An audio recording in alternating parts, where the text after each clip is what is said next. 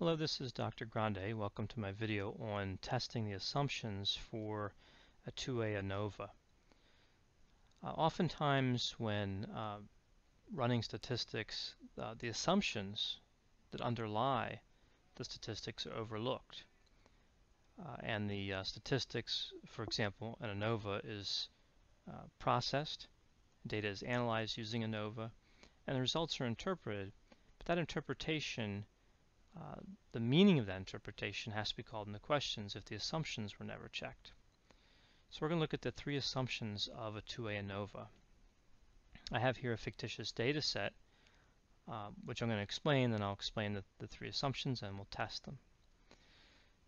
So let's presume this data comes from a mental health setting where you're looking at two independent variables. This independent variable is a 6-week or a 12-week duration of treatment and the next one is an emphasis of that treatment. You have substance use, depression, and trauma. And then an overall functioning score where a low score uh, represents fewer symptoms and a high score represents more symptoms.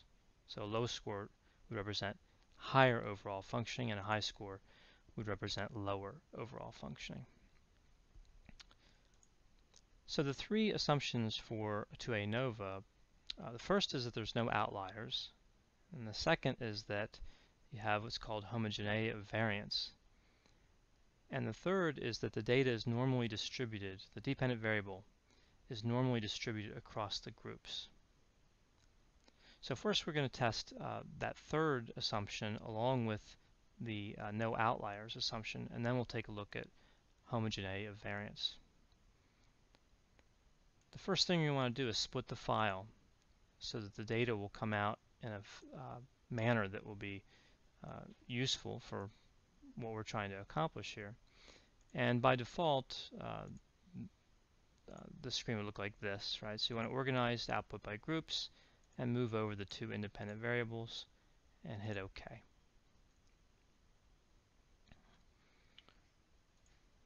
Uh, so that was data, split file, uh, both independent variables here under groups based on and organized output by groups. Now I want to go to descriptive statistics and explore. So analyze descriptive statistics and explore. We're going to leave uh, the statistics option the same uh, the plots, uh, we're going to add the normality plots. This would, this would normally not be checked. It would look like this. We're going to add normality, normality plots with tests. And the options will remain the same. We're going to exclude cases list-wise. Now this analysis has quite a bit of output because it's looking at every combination of the levels of the independent variables across the dependent variable. And the statistic that we're going to be looking for to test normality is Shapiro-Wilk. And we're looking for a non-significant value, so anything above 0.05. And you can see this is divided up by every level. So you have six-week combined substance use, and you can see that's uh, normal. And we'll check outliers with the stem and leaf, and there's no outliers there. We'll have to move through a lot of data, uh, a lot of uh, output here. Uh, you have six week and then uh, depression. You can see again, non-significant, so it's normal. And no outliers. Six weeks with the emphasis being trauma. This is normal, 0.541. But case 45 and case 32 are outliers. So there's two outliers in that particular combination of independent variables.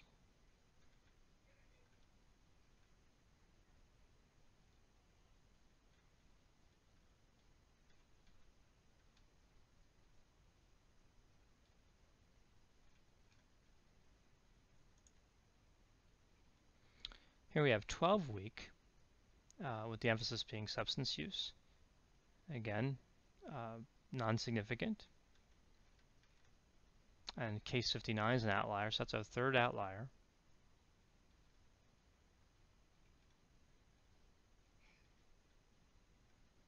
Twelve weeks with the emphasis of depression, again non-significant, and no outliers.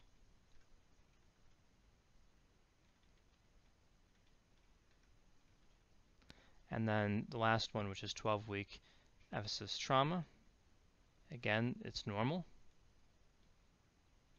It's normally distributed. And in this case, case 84. That's our fourth outlier.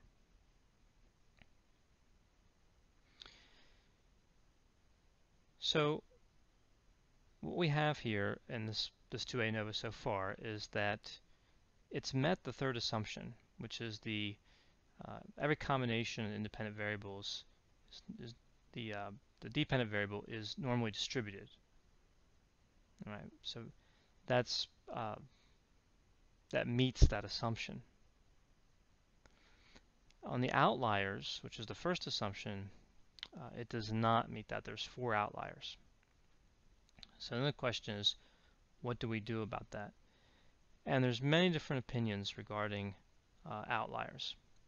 Uh, I think the best bet is to look at those four cases because it gives you the, the case reference in the output. Look at those four cases and see if there's a legitimate reason that they can be deleted from your data. Um, data simply can't be deleted because we don't like it. There has to be a legitimate reason. So you can look at those cases and discover those participants we're trying to manipulate, um, the outcome, um, something of that nature. Now that's four separate outliers in a data set of only 90 participants.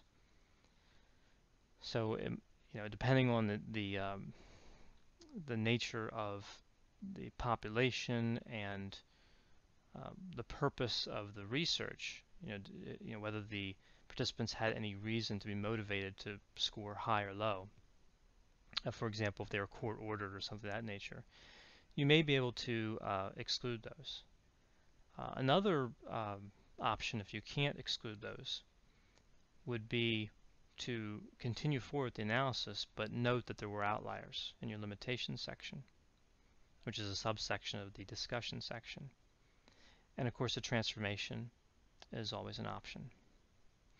So now let's take a look at the uh, third. So we've met, we haven't met the first. We do have four outliers. And the dependent variable is normally distributed across uh, each combination of independent variables. So now we want to test homogeneity of variance. So the first thing that's important to remember is to go back to split file and analyze all cases. Split file off, you should see this. And now we can analyze data using uh, univariate. And we'll put in the fixed factors. And the dependent variable will be overall functioning. And all these different options here will leave the same except for options.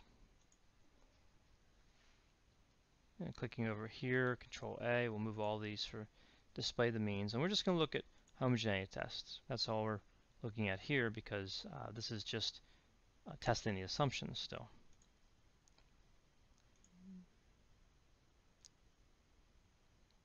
So we can see uh, in this case uh, we're looking at Levene's test.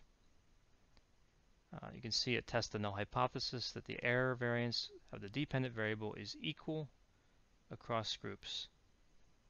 And we have to reject the null hypothesis because we have significance, which means the dependent the uh, the variance of the dependent variable is not equal.